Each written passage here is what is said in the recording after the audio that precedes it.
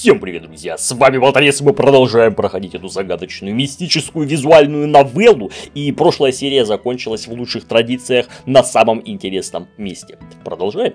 Используя пожарные лестницы, на соседнем здании он с легкостью оказался на крыше нужного дома. Пробирался он медленно и прислушивался к каждому звуку.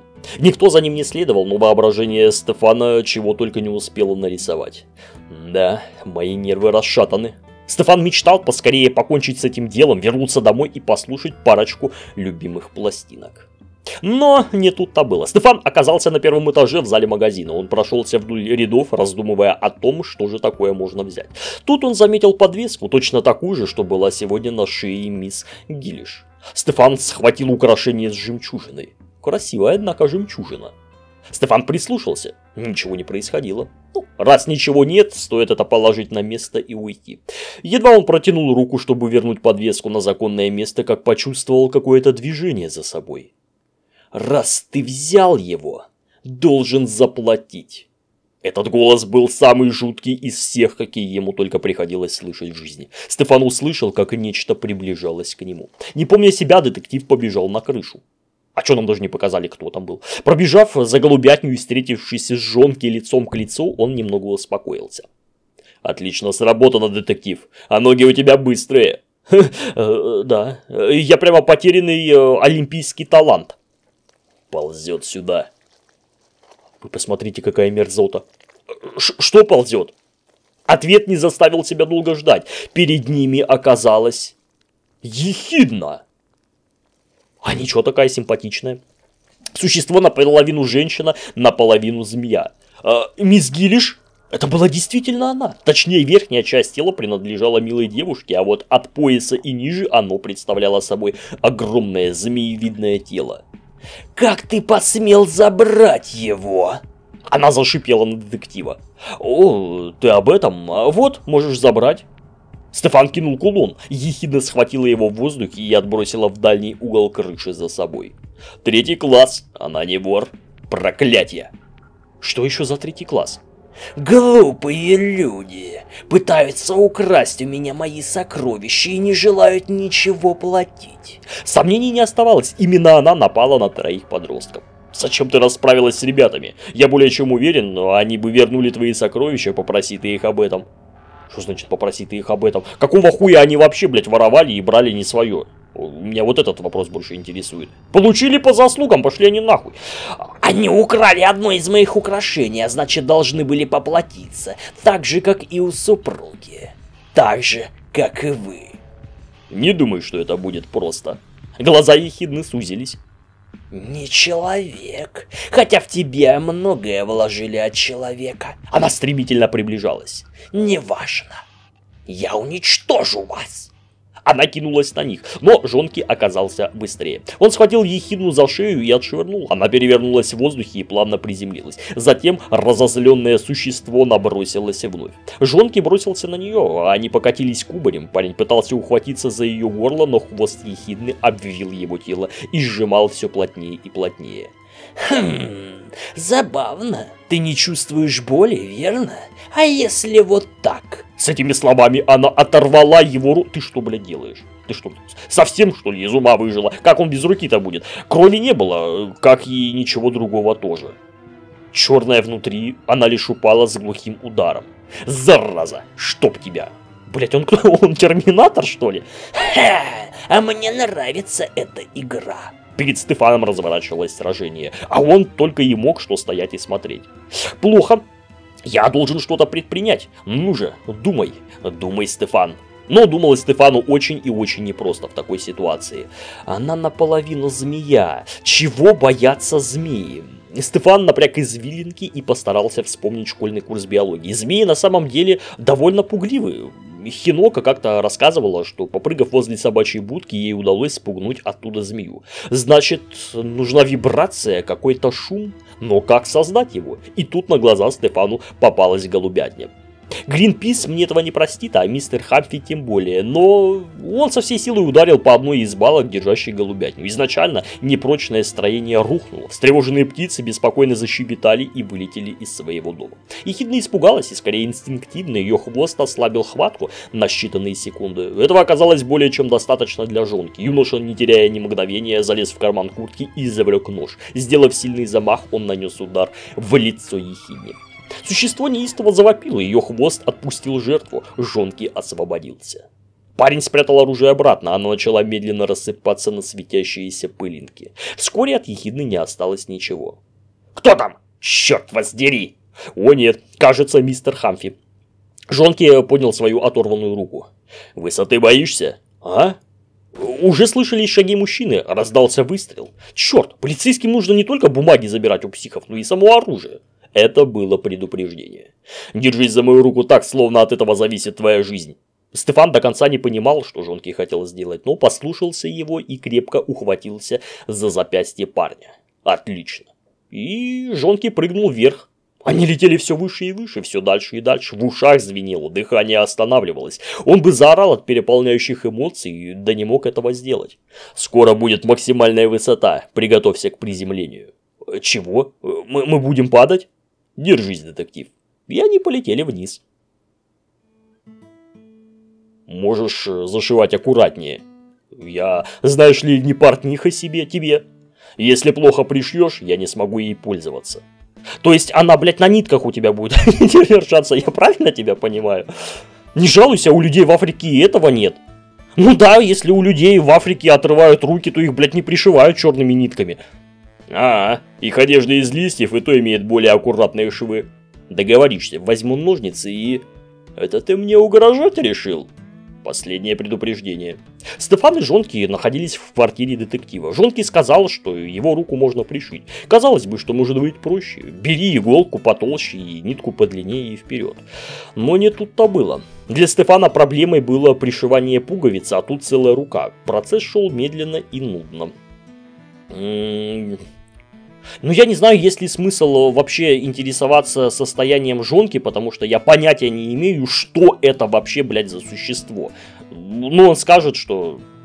Ну, ну что, блядь, значит, он скажет, у человека, блядь, если бы не было руки, он бы не сидел с таким э, лицом, скажем так, спокойным и умиротворенным. Поэтому лучше я не буду задавать лишних вопросов, крепче спать буду.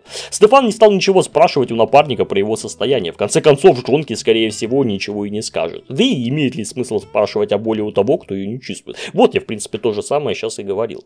Э, что будет дальше? Ехидна никогда не принадлежала миру людей. Скорее всего, после ее смерти все воспоминания, связанные с ней, сотрутся у всех, кто ее знал. Значит, э, я не забуду. Возможно. Тогда нужно как можно скорее написать отчет.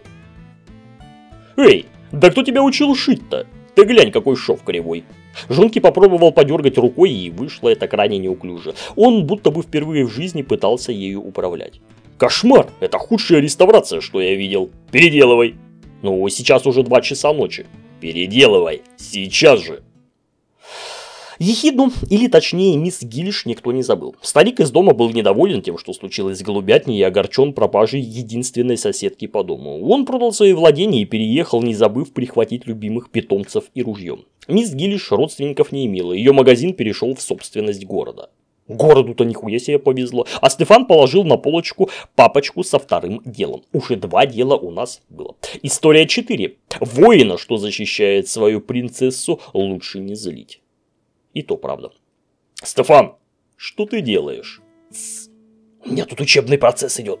Жонки покачал головой и вернулся к чтению. Тем временем детектив держал маленького, извивающегося во все стороны дождевого червяка э, перед попугаем и в который раз повторял. «Стефан, друг, ну же, скажи уже, наконец.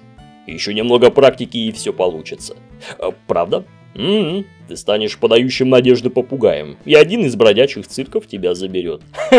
Очень смешно. Я не сдамся так просто. Тут птица вытянулась, распушила хвост, расправила крылья, Стефан воодушевился, попугай готов что-то сказать. Стефан друг, ну давай же, блядь, говори, пернатая скоти. Стефан дурак! Ну и Жонки, естественно, посмеялся. Внезапно затрезвонил старенький телефонный аппарат. Птица воспользовалась замешательством хозяина и утащила лакомство. Урок живого языка был сорван.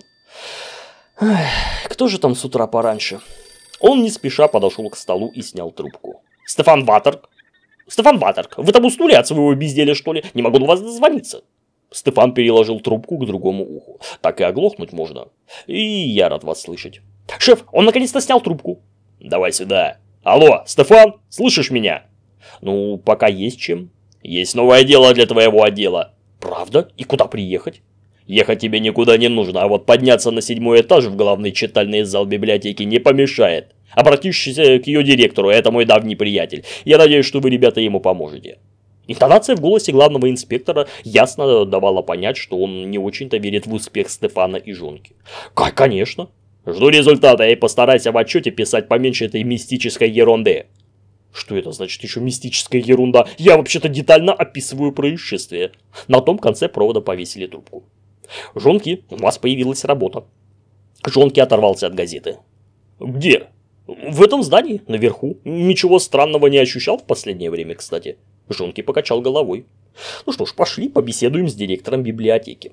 Что может такого произойти в библиотеке? Из разговора с директором библиотеки стало ясно, что в последнюю неделю творились странности в главном читальном зале. У сотрудников пропадали обеды, тем, кто засиживался допоздна, мерещились голоса, а некоторые утверждали, что видели страшные большие тени. Странности происходили в течение дня и в рабочее время. То книги падали сами по себе, то посетители на ровном месте спотыкались. Пошли слухи, что здесь поселился полтергейст, что прибавило проблем руководству. Стали приходить любопытные дети и подростки, подростки, искатели приключений, а постоянные посетители, напротив, появлялись, появляются все реже и хотят отказаться от услуг. Более того, некоторые даже намерены написать жалобу и подать в суд за причинение морального ущерба.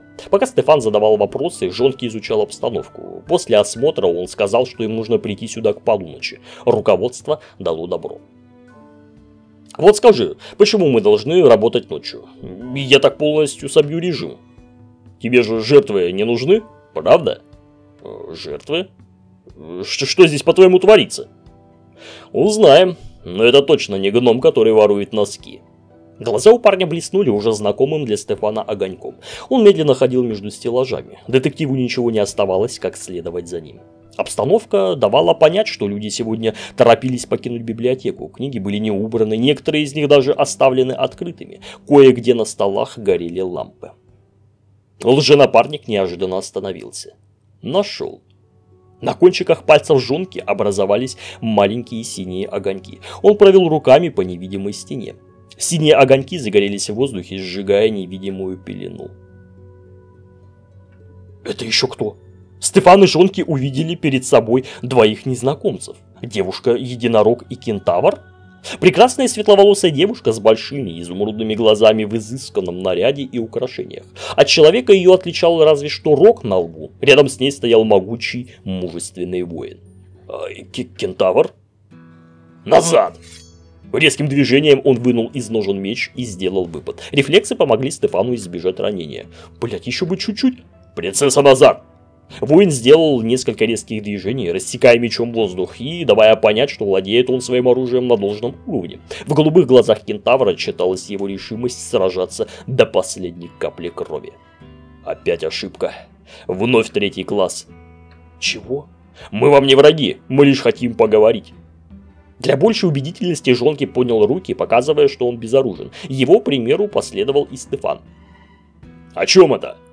«А что вы здесь делаете? Не могли бы вы покинуть это место?»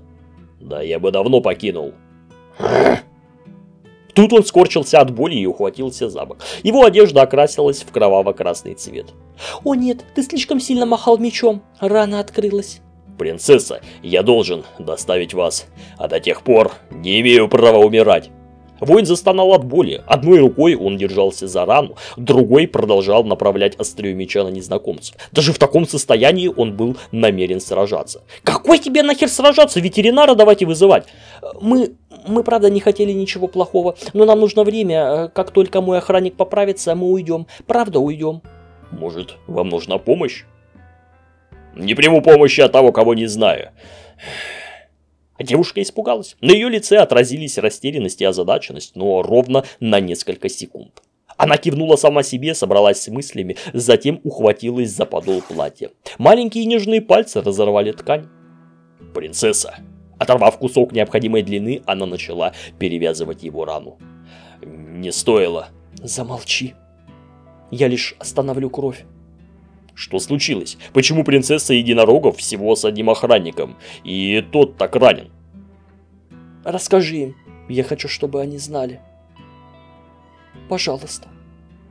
Кентавр тяжело вздохнул. Ему не нравились незнакомцы, но против воли принцессы он пойти не мог. Воин спрятал меч и не спеша начал рассказ. У нас миссия. Согласно договору между двумя полукоролевствами, необходимо доставить принцессу моему принцу. Нас было несколько команд с лжепринцессами и охранниками. Все было просчитано. Противники не смогли бы нам помешать. Недалеко отсюда мы должны были встретить отряд. Но нас предали. Нам пришлось отойти от намеченного плана и спрятаться здесь. Брак по расчету, значит, и ты... Эм, вы согласны на это? Девушка невидно улыбнулась, опустила глаза цвета изумруда. Нервно перебирая пальцами, она ответила. Мой народ очень страдает из-за раскола. Так же, как и народ кентавров. Некогда единые народы теперь разделились, и это не принесло счастья никому. Мое замужество должно закончить муки всех, и... Как мне говорили, северный принц единорогов мил и добр, он обещал беречь меня и заботиться обо мне. Но ведь Жонки опустил руку на плечо детектива и дал ему знак не вмешиваться. Стефан столкнулся с политическими реалиями невидимого мира, которые ему не понять, и уж тем более не ему их судить или менять. Стефан отступил с расспросами. В целом ясно, что опасности никакой для людей нет, разве что неудобства, и, и то временные. Как только кентавр восстановится, они покинут это место. Другой вопрос, сколько это займет времени и что сказать руководству. Может стоит убедить их принять помощь? Внезапно раздался грохот падающих стеллажей с книгами. Появилась стая огромных существ, напоминающих волков. Черные огромные звери, у которых горели по две пары красных глаз, торчали острые клыки, перепачканные и застывшие на них кровью. Один только их вид вселял ужас. Нашли! Наконец-то! Так, ребята, походу сейчас будет месиво. Так и знал, не стоило вам верить. Да, блять, а мы-то здесь причем нет, это не... Одна секунда, и кентавр сделал сильный замах мечом. Детектив успел пригнуться, меч рассек книжный шкаф за спиной молодого человека. Жонкий схватил Стефана за рубашку и вытолкнул. Как раз вовремя. Верхняя половина шкафа рухнула на место, где секунду назад находился Стефан. Мы не позволим этому браку случиться. Земли юга будут завоеваны. Принцесса, прячьтесь за меня. Мы же здесь ни при чем, почему нам не верят? Ну, я бы не сказал, что мы прям ничего не сделали. Что ты имеешь в виду? Жонки толкнул Стефана и сам отпрыгнул в сторону. Один из поверженных зверей, кинутых кентавром, едва их не задел. Мертвая туша начала превращаться в песок. Я снял занавес, за которым они скрывались. Это позволило баргестам их обнаружить. Баргесты? Эти волкоподобные существа? Через окна в главный зал забежали около дюжины кентавров. Половина из них тут же атаковала баргестов, другая половина со своим командующим подошли к принцессе единорогов южных земель и ее раненому воину. «Прости, что так долго. Мы никак не могли вас найти. Что случилось? Почему ты один? Ринтон, где Орис?» Орису пизда. Он оказался предателем, за что и поплатился. Ринтон бросил быстрый холодный взгляд на свой меч и в который раз ухватился за рану. Она вновь закровоточила. Командующий встал перед ним, обнажая парные мечи. «Уходи в оборону! Ты сильно ранен!» «Но я могу...» «Забыл уже свою клятву перед принцем. Тебе нужно жить, а мы с ним быстро разберемся». «Э, «Хорошо. Благодарю, командующий». Пользуясь небольшой заминкой, Жонки и Стефан нашли более-менее безопасное место, откуда смогли наблюдать за ходом сражения. Лженапарник улыбнулся. Занавес спал, и их смогли найти не только враги, но и союзники. А ты ничего не будешь делать? Это не моя битва. Но если ты мечтал умереть на поле боя, я не буду тебя сдерживать. Битва небольших отрядов шла не на жизнь, а на смерть. Прямо в библиотеке, ребят, вы представляете? Нигде такого не увидите. Либо ты убиваешь, либо убивают тебя, другое правило здесь не действовало. Баргесты стремились атаковать группами, разбивая отряд кентавров. Наличие четырех глаз оказалось для них большим преимуществом. Многие внезапные атаки кентавров получались напрасными. В то же время кентавры обладали бесстрашием и безразличием к физической боли. Стефан был уверен, получив хотя бы одну такую рану, человек бы упал в обморок от болевого шока. Если бы не умер бы быстрее от потери крови.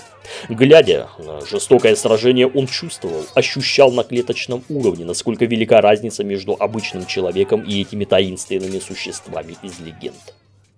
Сколько времени прошло, Стефан мог сказать с трудом. Когда последний зверь был повержен, а его тело рассыпалось и превратилось в песок, детектив почувствовал облегчение. «Закончили. Каковы потери?» Дирк и Норд погибли, еще трое сильно ранены. Те, кто в состоянии, возьмите убитых товарищей и помогите раненым. Нам нужно быстро уходить. А как же те двое? Кто, принцесса? Один человек, а вот кто второй, я так и не понял. Они сбежали, как только началась битва, уверен, они были союзниками баргестов. Я так не думаю, один из них ведь хотел помочь тебе, Ринтон. Доверие опасная вещь, принцесса. Я доверял Орису и получил удар в спину. Ритон прав. Нельзя доверять незнакомцам. Вы слишком юны, его вас легко обмануть.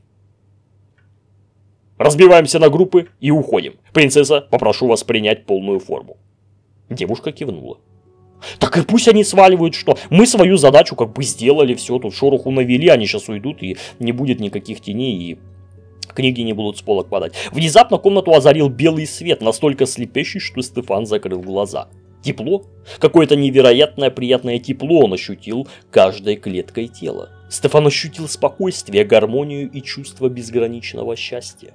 Он открыл глаза и увидел удивительной красоты создания. Белоснежная лошадь с рогом и изумрудными глазами. Как красиво. Уходим. Стефан и Жонки стояли посреди разгромленного читального зала и наблюдали за тем, как постепенно в ночном небе пропадают фигуры. И что нам делать со всем этим хаосом? Полагаю, тебе можно начинать искать новую работу. Я знал, что всегда могу рассчитывать на твою поддержку. Теперь все будет в порядке? Как знать, распад королевств кентавров и единорогов не принес ничего хорошего, но никто не гарантирует счастье после их воссоединения.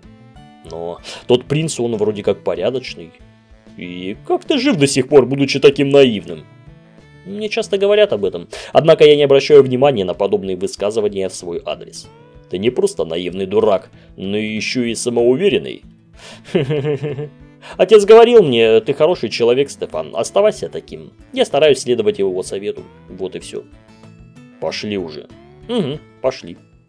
Они направились к выходу, но Жонки остановился. Что случилось?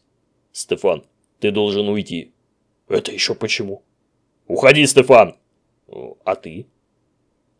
А мне нужно кое-что проверить. Жонки выглядел пугающе. Стефан не решился спорить с ним. Вместо этого он лишь притворился, что ушел, а сам спрятался за одним из чудом уцелевших шкафов и наблюдал. Какой он, а? Лженапарник сделал несколько шагов вперед, осмотрелся вокруг. Затем, держа вместе четыре пальца правой руки, нарисовал в воздухе несколько замысловатых знаков. Стефан почувствовал, как прошла воздушная волна. «Хватит прятаться! Выходи!» Неужели он понял, что я здесь? Нет, мне кажется, что Жонки обращается к кому-то другому. Я сделал барьер. Ты не выберешься до тех пор, пока я его не сниму. А ждать я могу долго. Видимо, нужно выйти. Это еще что такое? Одна из теней дернулась и поползла по полу. Она становилась все длиннее и длиннее, потом начала расти вверх, подобно пробивающемуся к солнцу ростку.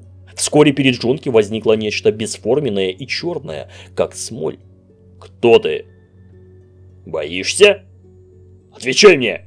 «Я сказал, отвечай!» «Я не причиню тебе вреда, если ты не причинишь его мне». «Вы все так говорите. Сперва». «Кто говорит?»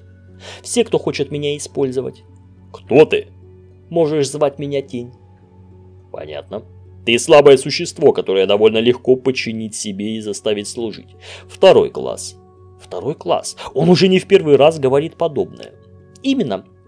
Я приобрел свободу совсем недавно, в этой битве, когда умер мой хозяин, и мне не хочется ее терять, так что позволь мне уйти. Я ищу кое-кого, ты не знаешь. Я не знаю, Жонки. Не знаю, кто вор, которого ты ищешь. Знаешь меня? Слухи о тебе быстро расходятся. Едва я увидел тебя, как понял, кто ты. Знаешь, меня и тем не менее не показался, когда я тебя не выманил. Ты не хуже моего знаешь, насколько хорошо мир изнанки учит быть осторожным. Мир изнанки? Отпусти меня уже, жонки. Хорошо. Жонки повторил свои недавние рисунки в воздухе. Стефан вновь ощутил воздушную волну, которая потрепала его волосы. Постарайся удержать свободу как можно дольше. Не хотелось бы встретиться с тобой в другой ситуации. А, ну, ну, ну, шеф, да ты, видимо, смеешься надо мной, щенок. Пишешь в отчете про каких-то принцесс, кентавров и баргестов. Это вообще кто такие? Тебе нужно было идти в писатели-сказочники, а не в детективы. Телефонный разговор с начальством отдела а, расследований не клеился. Главному инспектору не понравился представленный отчет Стефана. Блядь, так пусть лучше напишут. Мы, наверное, как бы знаем, мы ж там были. Что я, по-твоему, должен сказать, отчитываясь на собрании в отделении полиции?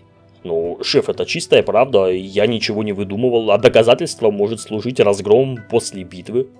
А вот это отдельная тема. Вы что там вообще творили? Как я теперь в глаза своему приятелю посмотрю? Насколько я знаю, ты с ним еще не виделся.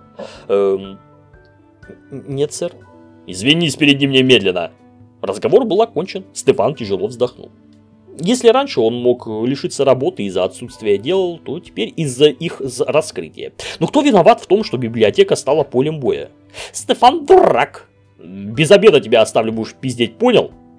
Пиявка, атакуй. Жонки пропал и не появлялся эти два дня. Чем он занимается, Стефан не знал, да и, честно говоря, пока детектив хотел немного отдохнуть от всех этих приключений. Нужно подняться, переговорить с директором библиотеки. На выходе из кабинета Стефан взглянул на питомца. «Стефан дурак!» «Стефан может быть и дурак, зато с обедом. А вот ты посажен на лечебное голодание. Понял?» Птица сделала несколько шажочков по жердочке и клювом стукнула Стефана по пальцам, которые тот в раздумьях потянул к ней. «Ауч! Атакуй!» Стефан ожидал чего угодно. Криков, воплей, возмущения, угроз, да что угодно, но точно ну, недружелюбного рукопожатия и речи, переполненной восторгом. Директор библиотеки благодарил его за проделанную работу. Сперва Стефан решил, что тот головой тронулся от потрясения, но нет, Слухи о таинственном читальном зале в библиотеке и бушевавшем там полтергейсте дошли до нескольких газетных издательств. Двое журналистов, одного из них оказались шустрее своих конкурентов. Они предложили директору заключить договор, согласно которому библиотека получит процент с продаж, а журналистам будет позволено досконально осмотреть место, сделать снимки и опросить персонал. Всего за пару дней, благодаря продажам увеличенного тиража газеты с публикацией журналистского расследования, удалось покрыть ущерб от сражения, да еще целая волна новых читателей объявилась. Почему Полтергейст разгромил библиотеку? Почему именно в отделе любовных романов? Может это дух мужчины, что не смог жить без своей возлюбленной? А может это невеста, которая мстит за сорванную свадьбу? Столько предположений на этот счет, столько домыслов. Еще немного и этот зал станет местом, куда будут приходить парочки, желающие провести всю жизнь вместе. Популярность библиотеки резко возросла, и радости руководства не было предела. Стефан почувствовал облегчение. А может быть даже и нам там какой-нибудь процентик перепадет. Что ж, э, кто бы мог подумать, что все так обернется, что именно так закончится его третье дело. Прощаясь, мужчина крепко пожал ему руку. «Я ваш должник, Стефан. Если буду чем полезен, с радостью посодействую». В таком случае хочу попросить помощи в поиске литературы на одну тему. На какую такую тему? Возможно, мы узнаем в истории номер пять. В чужом успехе мы видим лишь отражение собственных неудач.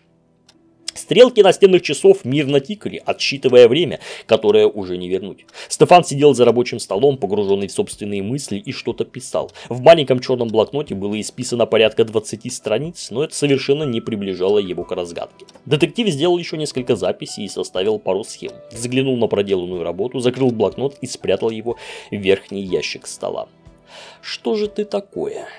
Последние несколько дней он не видел жонки. Тот без предупреждения исчез и не появлялся на рабочем месте с прошлого четверга, до сих пор не дав ничего о себе знать.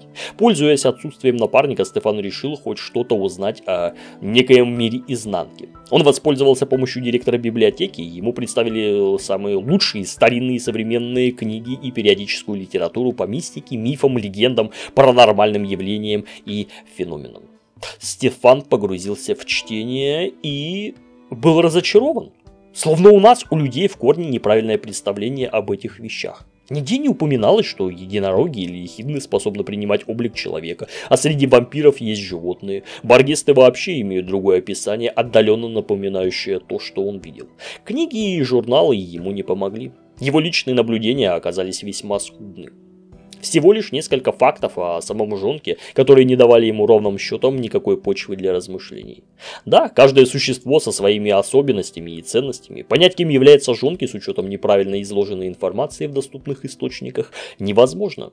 Больше похоже на гадание по кофейной гуще.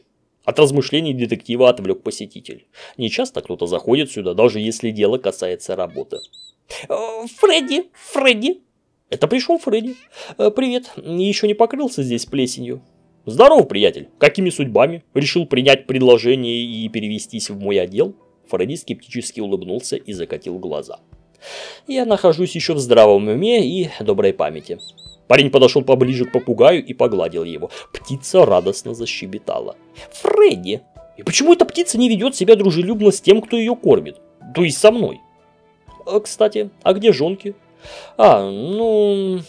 В этот момент открылась дверь и вошел лженапарник Стефана. «День добрый». Фредди слегка вздрогнул, он до сих пор не мог привыкнуть к взгляду этого парня. И хотя пытался не показывать этого, но побаивался его. Привет, э, жонки. Обратить внимание на долгое отсутствие жонки, ну это наши вот эти вот междуусобицы, это мы потом с ним поговорим. Не обращать внимания на долгое отсутствие. Пусть Фредди считает, что у нас все хорошо. Жонки, рад тебя видеть. А, а ты что, мне, блядь, не рад? Что ты молчишь мне в ответ? Хм, у тебя какой-то вид потрепанный. Угу, словно три дня не спал и держался на кофе. Знал бы ты, приятель, что он вообще не спит, и кофе ему при этом не требуется. У меня все под контролем. Жонки сел на диван и раскрыл свежую газету. С кем же ему пришлось столкнуться, чтобы так измотать себя? А, так зачем ты пожаловал, Фредди? Ну, у меня есть личная просьба. Он впервые обращался к Стефану с просьбой, и этот факт молодому человеку не нравился. И чем же я могу помочь коллеге? Ну, вы же разбираетесь в этих странных штуках? Жунки свернул газету и пристально посмотрел на помощника главного инспектора. Штуках? Ну да, там вампиры, какие-то еще неведомые науки твари и разные явления. Короче, в школе, где мой кузен работает учителем, произошел очень странный инцидент. Он просил меня о помощи, когда я его выслушал, понял, что стоит обратиться к вам. Что конкретно произошло? Одна его учительница пострадала. Она оказалась покрыта огромным слоем льда, который не тает и не бьется. Он тяжелый настолько, что его даже сдвинуть невозможно. Похоже, дело и впрямь по нашей части. Фредди кивнул. Служебная машина заедет за вами через час. Школа находится на окраине города. Моего кузена зовут Питер. На месте он вам все расскажет более подробно. Это на весь день выходит. Могу я тогда попросить тебя приглядеть за попугаем? Без проблем.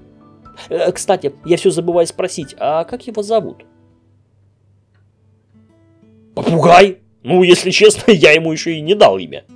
Да, хозяин из тебя так себе. Это точно. Ой, да ладно вам. И когда-то они успели найти общий язык. Зато можно выбрать ему имя сейчас. Фредди погладил попугая, отчего птица стала выглядеть заметно счастливее.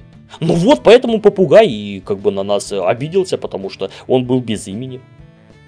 И твои варианты? Хм, снежок, перышко, кусь-кусь. Что, блин, за кусь-кусь? Какой нахуй кусь-кусь? Откуда у тебя вообще такие идеи? Пиявка. Э, ему не нравится. Он хорошо говорит это слово, пускай и будет пиявкой. Птица захлопала крыльями. Стефан дурак. У него и эта фраза хорошо получается. Это все ты учишь птицу неприличным словам. Хм. А как насчет э, император? Попугай распушил перья на голове, вытянул шею, уставился на Фредди и заморгал маленькими черными глазками. Ну, что скажешь, император? Император! Император! Значит, решено. Ему, походу, понравилось. Только не учи его ничему странному. Конечно. Когда это я учил императора чему-то странному? Стефан пожал плечами, и этот парень опять пополнил словарь попугая теми еще фразочками и словами. Стефан и Жонки сели в служебную машину. Водитель оказался из малоразговорчивых. Через полчаса езды Стефану надоело вести монолог. Он включил радио, поймал любимую волну, и в салоне заиграла спокойная и умиротворяющая музыка. Жонки сидел на заднем сиденье настолько тихо, что создавалось впечатление, будто его нет. На все попытки Стефана завязать беседу он отвечал короткими дежурными фразами. В конечном счете детектив бросил всякие попытки разговорить кого-либо в этой машине и сделал радио погромче. Так они ехали еще полчаса. Едва старенький автомобиль подъехал к нужному месту, как к нему тут же подбежал парень лет 20. Это был Питер. Молодой учитель вел себя очень взволнованно, ему не удавалось скрывать своего беспокойства. Закончив формальное знакомство, он поспешил проводить детективов на место происшествия. Водителю предстояло ждать коллег, пока они не закончат, но мужчину данный факт нисколько не расстроил, а скорее наоборот. Он практически без сна разъезжал двое суток, так что недолго думая, водитель закрыл изнутри машину и погрузился в сладостный мир грез, по которым успел сильно соскучиться. Ну а мы оказались э, с Питером э, по ходу дела в женской раздевалке, и что мы будем делать здесь, узнаем в следующей серии. Подписывайтесь на канал, комментируйте, ставьте лайки. Всем пока.